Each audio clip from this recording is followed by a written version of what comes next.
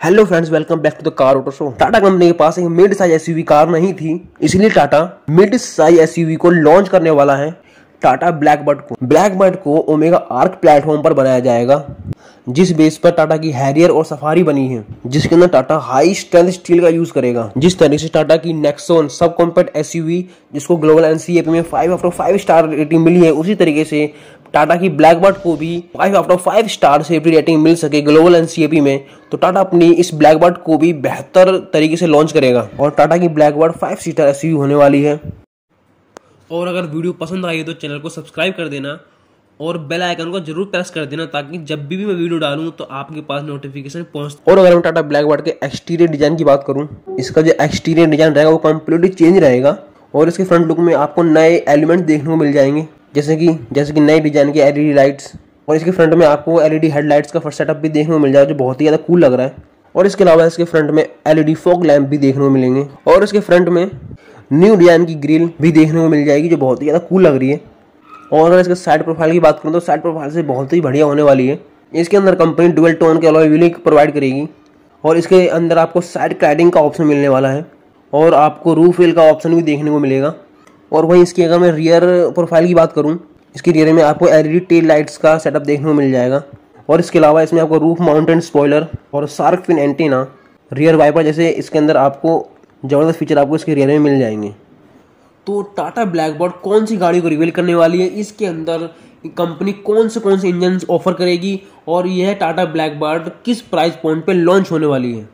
तो जानेंगे इस वीडियो के अंदर। तो चलो वीडियो स्टार्ट करते हैं। टाटा की ब्लैकबर्ड काफ़ी सारी गाड़ियों को रिवील करने वाली है, जिसमें शामिल है किया की सेल्टोस हुंडई क्रेटा निशान की किक्स और रेनो की डस्टर शामिल है। अगर हम एक तरफ़ देखें तो टाटा के पास नेक्सोन है, जिसका प्राइस स्टार्ट होता है साढ़े सात लाख से स्टार्ट होकर साढ़े बारह लाख रुपए तक मिल जाती है। और दूसरी तरफ़ है टाटा की हैरियर जो फुल साइज़ एसयूवी है, जिसका प्राइस स्टार्ट होता है साढ़े तेरह लाख से शुरू होकर ट्वेंटी लाख रुपीज़ तक मिल जाती है। लेकिन टाटा के पास अभी तक कोई भी ऐसी एसयूवी नहीं है, जो हुंडई क्रेटा और किया के सेल्टोस के साइज़ की हो।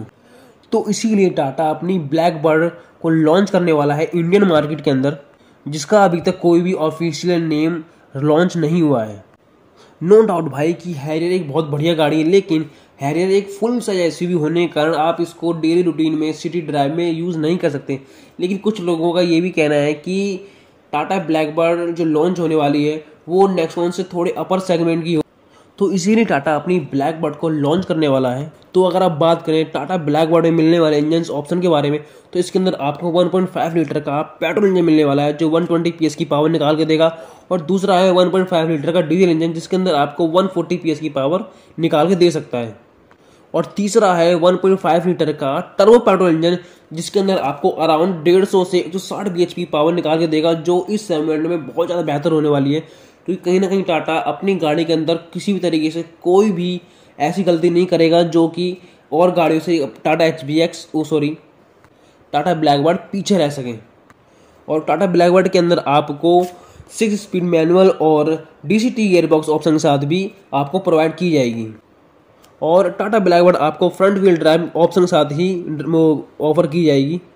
और साथ ही साथ में आपको इसको मल्टी ड्राइविंग मोड्स भी आपको इसके अंदर मिलेंगे जो आपको ऑफ़ करने में थोड़ी बहुत मदद कर सकते हैं, क्योंकि ये फ्रंट व्हील ड्राइव है, ज़्यादा ऑफ़ नहीं कर सकते, लेकिन थोड़े बहुत हेल्प कर ही सकते हैं वो मल्टी ड्राइव मोड्स जो आपको मिलेंगे। तो अगर आप बात कर लें इसके इंटीरियर की, इसके अंदर आपको ब्लैक और बेज कलर का डुअल टोन कलर देखने को मिलेगा, जो कि टाटा की बेजिंग की बैजिंग के साथ थ्री स्पोक स्टेयरिंग भी देखने को मिल सकता है आपको इसके अंदर। और साथ ही साथ में आपको इसके अंदर ten point two five inch का एक बहुत बड़ा, काफ़ी बड़ा, ज़्यादा बड़ा तो नहीं है, लेकिन काफ़ी हद तक बड़ा टच स्क्रीन देखने को मिल सकता है। और जिसके अंदर आपको एप्पल कार प्ले और और एंड्रॉइड ऑटो को सपोर्ट करेगा। इसकी इंटीरियर में आपको फाइव परसेंट की सीटिंग अरेंजमेंट आपको इसके स्टीयरिंग पे steering mounted control and cruise control जैसे फीचर्स आपको उसमें देखने को मिल सकते हैं।